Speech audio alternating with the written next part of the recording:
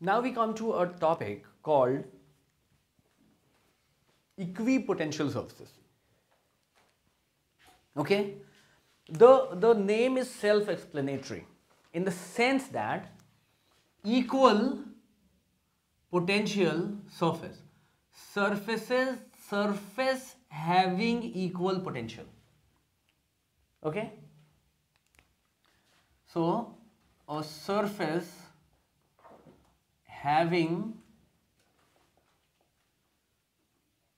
the same that is the equal potential at all points on it at all points on it is called equipotential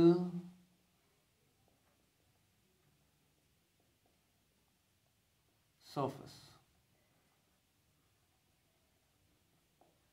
It's called an equipotential surface. I should be writing an, should be called an, is, is called an equipotential surface. Now let us try to understand. There is a, a point charge here, say Q. Okay. Now we know the formula for V. V is equal to Q upon 4 pi epsilon naught R. Correct? Now as long as R remains the same, the potential remains the same. Correct? Correct? Now if I keep R a constant, then around this there'll be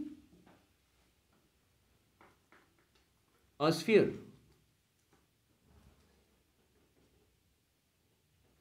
There'll be a sphere around it, right? This looks like a circle, but consider it to be a 3D figure, but consider it to be a 3D figure, okay? So this is actually a sphere. Now at all points on this sphere, the potential will remain a constant, okay? So this becomes an equipotential surface. So this becomes an equipotential surface.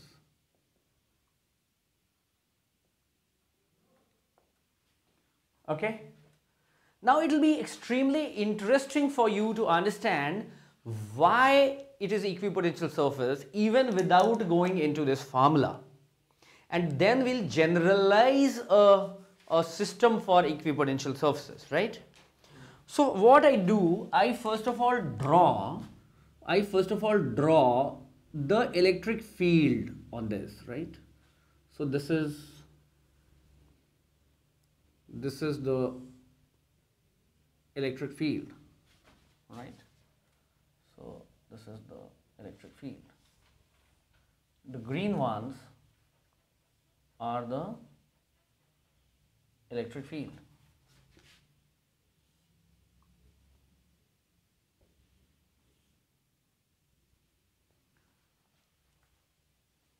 Correct? They are pointing radially outward. Correct? Now try to understand. So if you look at the equipotential surface which is a sphere and these radial fields you will notice one one unique thing about it. And what is that unique thing?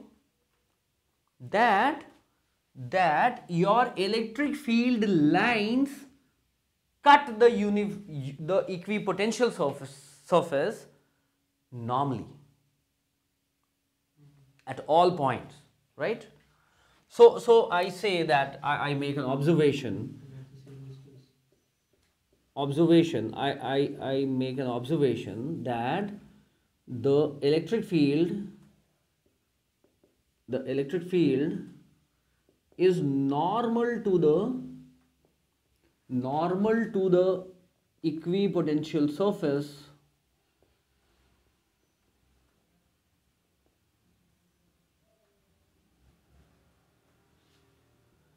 at all points is it not?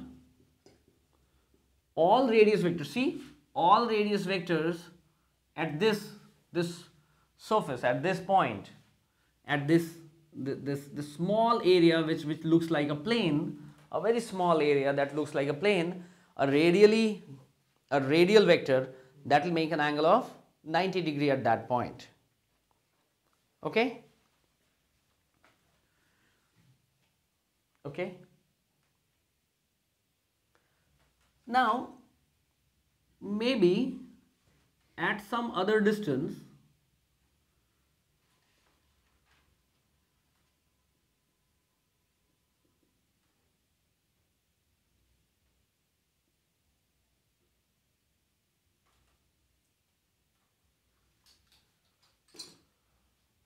This is also an equipotential surface.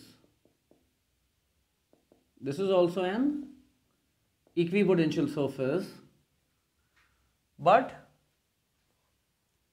this is also an equipotential surface. This is also an equipotential surface. But it does not mean that the potential here will be the potential here. Which is which is which is at a higher potential? Can you tell me? The the, uh, the the this one, right? So if if maybe this is 10 then this is 20 volts. Say say let's say. Q positive. Q is positive. If q is a positive charge if i have not if i have not written negative it means it is positive okay? It is a positive charge. So a positive charge moving from here to here will have to i'll have to do the work. So the potential energy and hence the potential of the smaller sphere will be higher. Do we understand that? Hmm? We understand that? So, these are two equipotential surfaces. There can be infinitely many potential surfaces, equipotential surfaces that you can draw. Okay. Now try to understand, is it a chance that it is something like this? or will it be for any kind of charge configuration?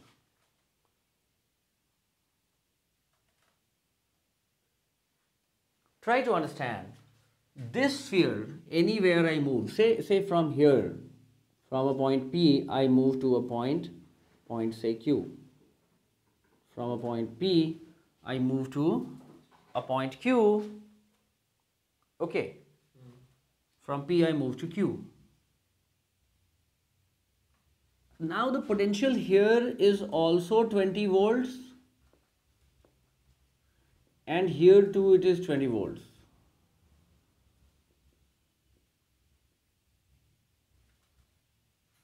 Okay. Now when is that possible? It means that while coming from here to here, I must have done no work. Neither I have done any work nor any work has been done on me. You understand that? Nor any work must have been done on me. So no work has been done. Correct? If no work has been done in coming from here to here, then then, then what has what has happened? Is there no force? No, there is force. No, there is there is force there is force and suppose I am here then the force is radially outward. Is there no displacement? There is a displacement. Otherwise how, how, how will I move here? How will I come to a different point Q? So there has been a force, there has been a displacement, there has been a displacement, right? The displacement is along this, let's say a small displacement, right?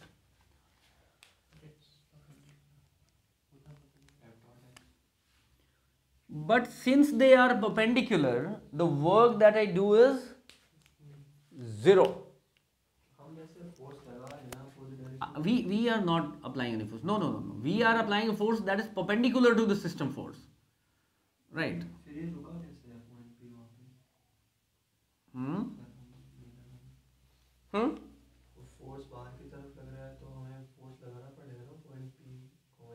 To, to keep it there but but that force will be like this no you, you the force that you are applying to keep it here is this and your displacement is this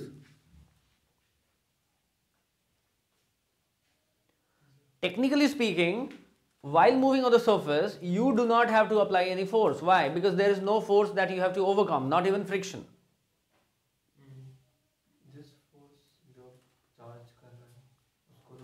No, no, but, but, but the force that you are applying to counter that force is in the opposite direction.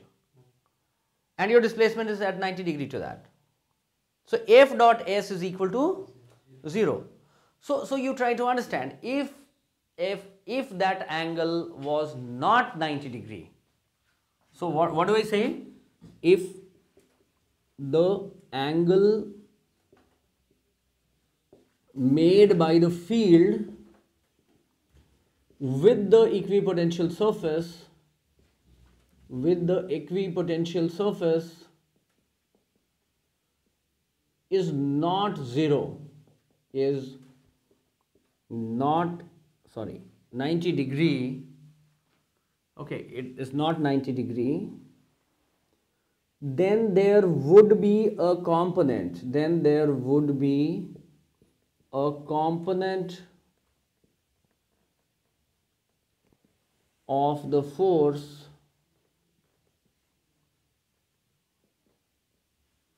acting towards or against the displacement.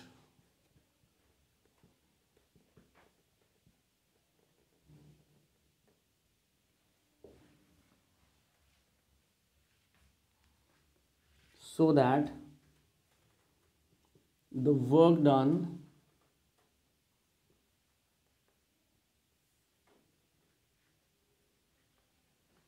is either positive or negative.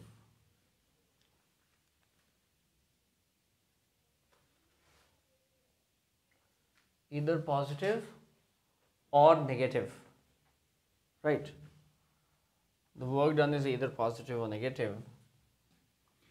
And due to this, the potential will either increase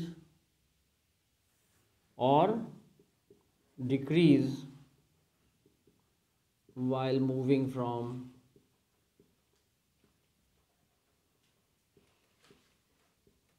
P to Q. Correct.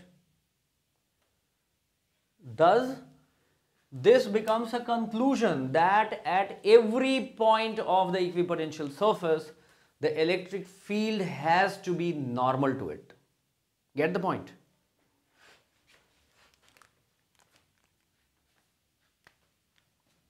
Thus, at every point of the equipotential surface,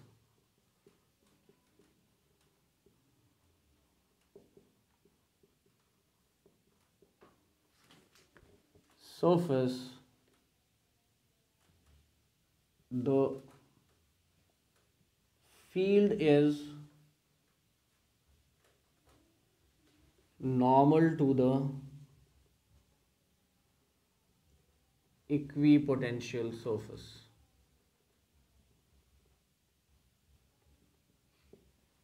Correct.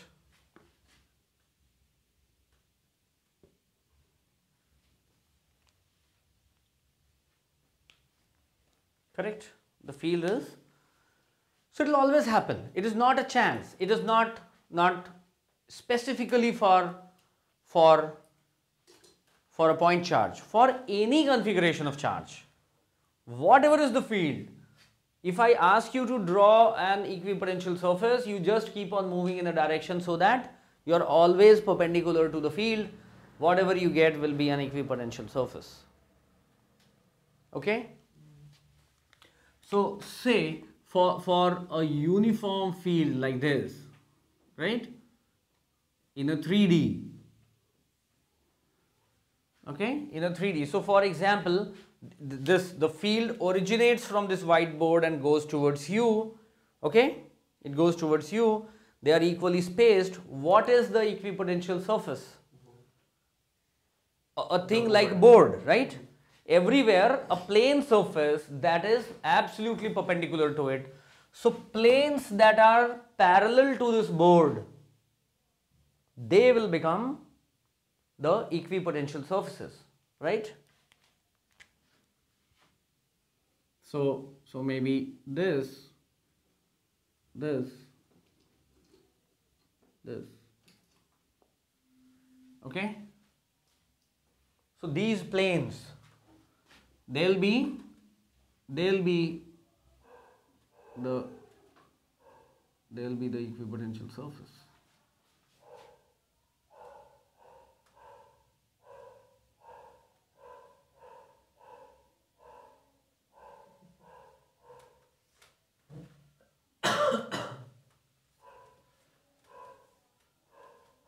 right?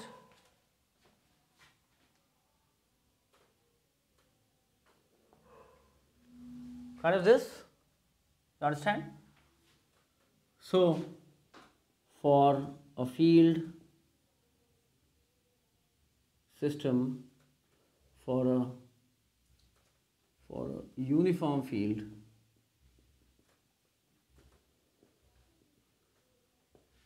field the equipotential surfaces, the equipotential surfaces.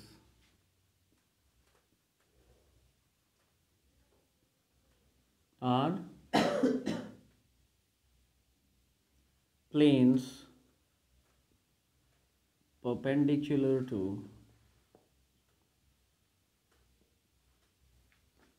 perpendicular to the electric field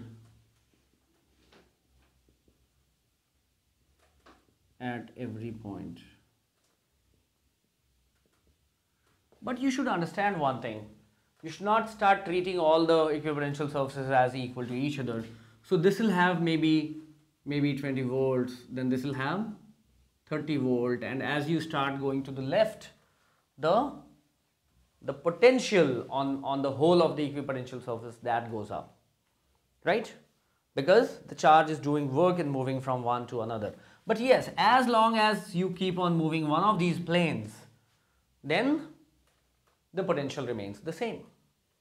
We get the point. In that case, the potential remains the same.